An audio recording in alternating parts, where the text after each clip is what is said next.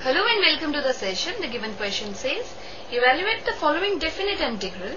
12th is, integral dx upon 1 plus x square and the lower limit of integration is 0 and the upper limit of integration is 1.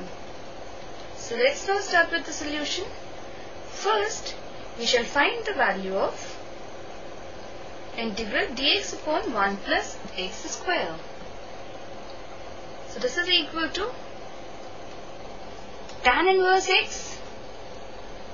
Now, by the fundamental theorem of integral calculus, we know that integral fx dot dx from a to b is equal to fb minus fa where f is the antiderivative of the given function f which is continuous and defined on interval a to b which is closed.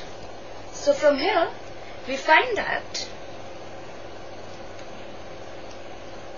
fx which is the antiderivative of the given function is tan inverse x.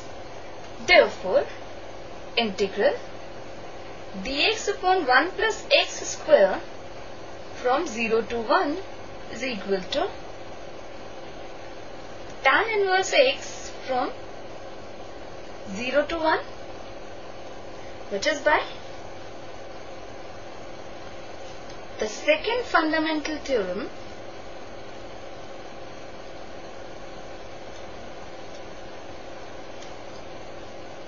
of integral calculus. So this is equal to tan inverse 1 minus tan inverse 0.